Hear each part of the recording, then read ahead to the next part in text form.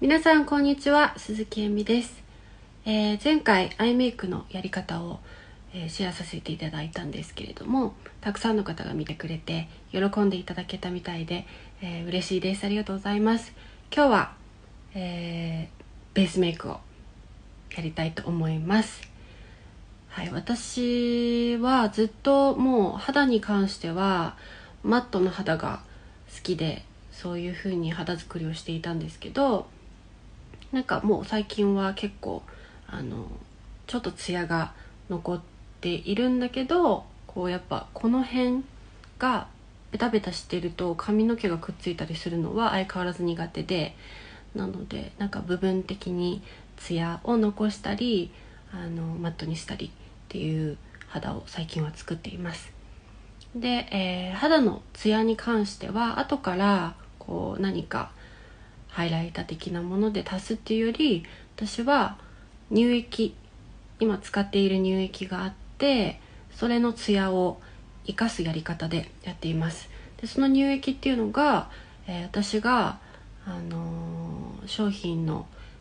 えーアドバイザーをさせてもらったりあとパッケージのデザインをディレクションさせていただいてるソフィースタンスっていう商品があってそれの開発中の乳液でまだ売られてないんですけどその乳液が本当にねあのツヤがすごくて1枚膜を張ってくれるような仕上がりになるのでわかるかな？これ乳液を今塗ってスキンケアしかしてないんですけどツヤがすごくてこれを生かすやり方でやっています。でスキンケアが終わったら下地とかは私は今使っていなくてもう直接ファンデーションを塗ってしまうんですけどファンデーションはもうずっとクレドポーのこのファンデーションリキッドファンデーションを使っています。これあのお値段ちょっとしちゃうんですけど伸びがすごく本当に良くてちょっとの量しか使わないので結構ね実はコスパいいんじゃないかなって私は思ってます。でそれをこういう風に筆で取ってもうこの量が私の1回分。で直接肌に筆でこういう風にのせていっちゃう。そしたらもう手で伸ばす。頬の中心とここ。と鼻の下とかをメインに伸ばします。このファンデーションは伸びがいいのはもちろんなんですけどなんて言うんだろう。もうクリーム色がついたクリームのような質感で私ファンデーションに関しては本当にまあ仕事柄たくさんのファンデーションを試すんですけどあの毛穴に溜まったりあとなんだろうなカバー力が高すぎるものって結局乾燥してしまうとかそういう問題が起きやすいので私の肌に関しては特に薄いのでなんだろう血管とかも見えちゃうぐらい薄かったりするのであのなんだろうなクリームの延長線上のようにある質感のファンデーションが好きです。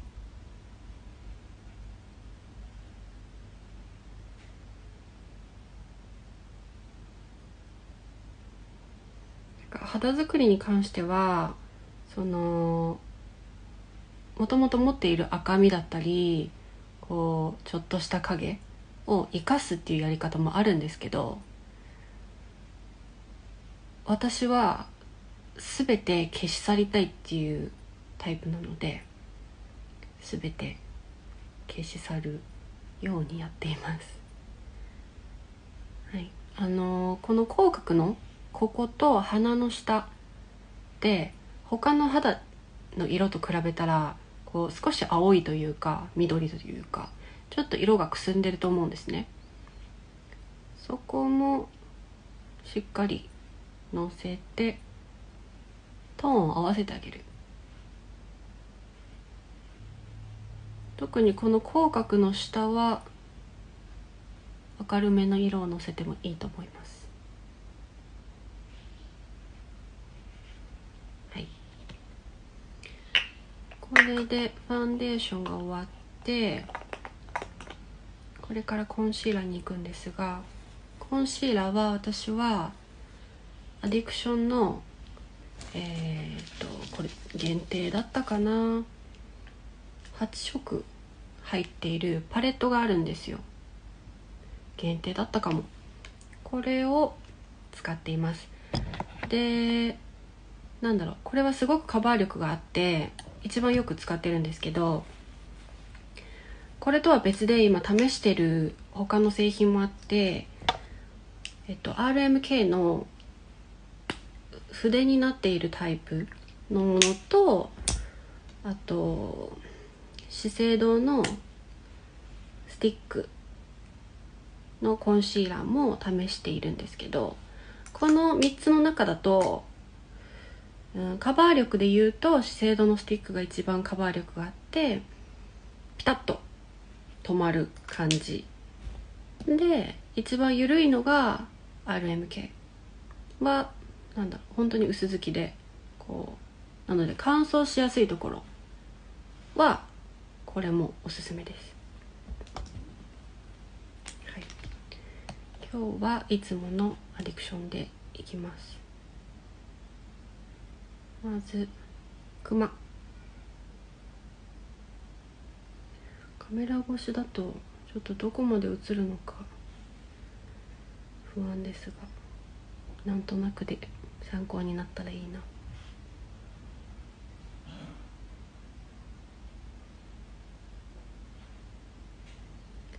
クマに関してはなんだろうな。ここ？目のここから塗ってしまうとあのまあ人にもよると思うしこう目の形というかお肉のつき方次第だと思うんですけどここにのせてしまうとここも明るくなってでここを消したいのにここも明るくなるとここが余計にこうなんだろうまた影に見えちゃう時があるので私は本当にこうクマの色が気になるところだけ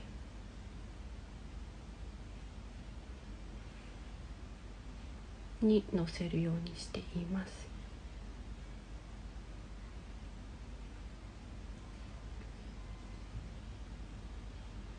こういう広い範囲のところにコンシーラーをのせる時はこれくらいの筆で十分だと思うんですけど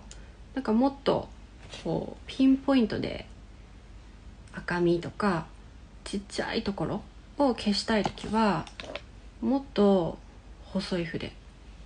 これぐらい。今使ってたのがこっちで点で描けるようなこれは MAC のえー、ジェルアイライナーに使うような筆なんですけど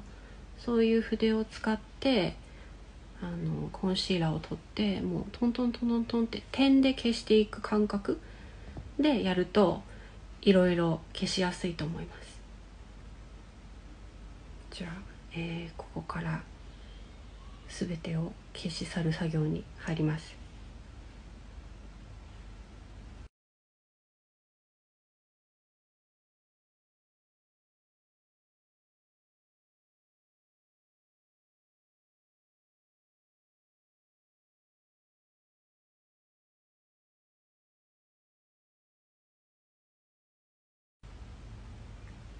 まあなんだろうな。目立つところから消していくんですけど1個消すと違うところが気になってきたりするのでもう寄ってみたり引いてみたりしながらくまなくやっていきます。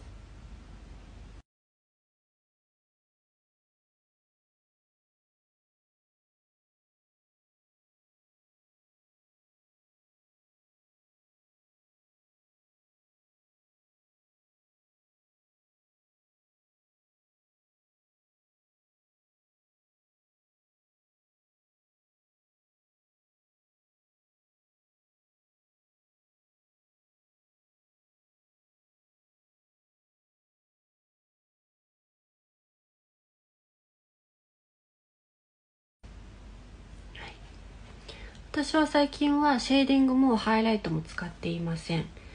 えーと、いっぱい重ねてしまうと、まあ、今夏っていうのもあるんですけどどうしても重ねた分だけ、えー、崩れやすくなるっていうのもあるしあのもうコンシーラーでなんだろうな前に出して見せたいところには明るい色をのせてこうこの辺りの肌ってここを明るくすると必然的に暗くなるのでなんだろうな自然なシェーディングになってくれるというかこうあんまり過度にパウダーとかでシェーディングは使わずにコンシーラーだけでコントロールできるようにしています、はい、これでコンシーラーが終わったのでパウダーフェイスパウダーをします。フェイスパウダーはこもうこれもずっと使っているシャネルのパウダーなんですけどこれを筆で取ってこういうふうに一回ティッシュの上でくるくるってしてこのブラシの中までパウダーが入るようにしてポンポンポンポンってのせていきます。その時ここの方の高い位置のツヤは残したいのでここには粉はしません。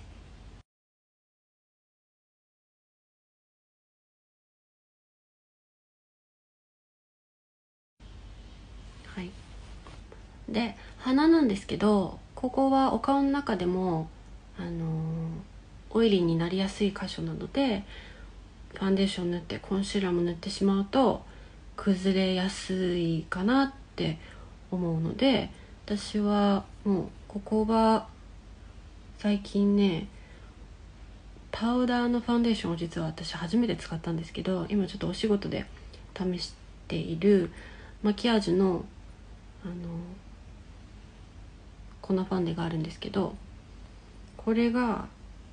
小鼻とかには本当にすごく良くてもう色ムラもシミとかも毛穴とかも全部なかったことにしてくれちゃうの。全部埋めてくれるっていうかカバーしてくれてでこれだけなのであの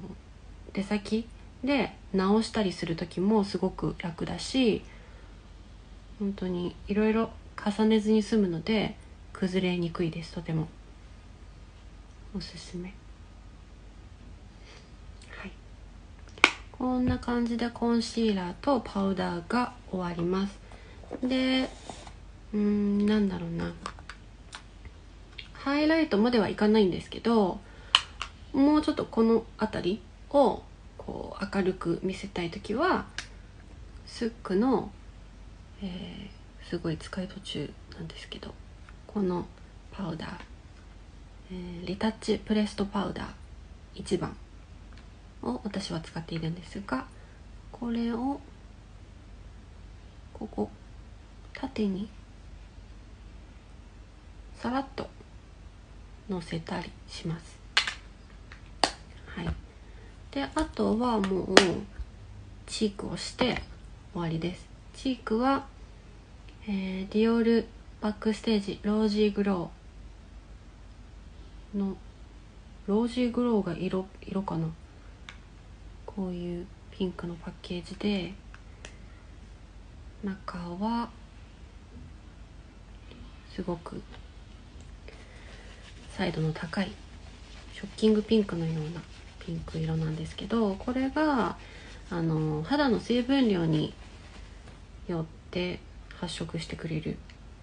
チークでそれをこの資生堂のチークブラシで取って頬の中心ここ。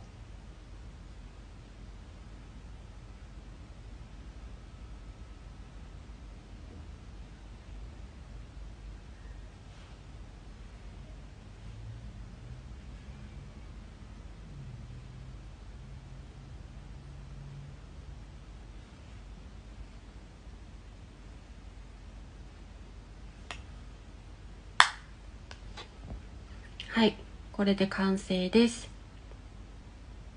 自分の顔の骨格だったり、えー、見せたい女性像が皆さんいろいろあると思うので是非あの今日は私のやり方をシェアさせていただいたんですけど何かあの応用できるものは是非応用していただいて、えー、自分に合ったメイク自分の個性がキラッと光るようなメイクを見つけていただければと思います。ありがとうございました。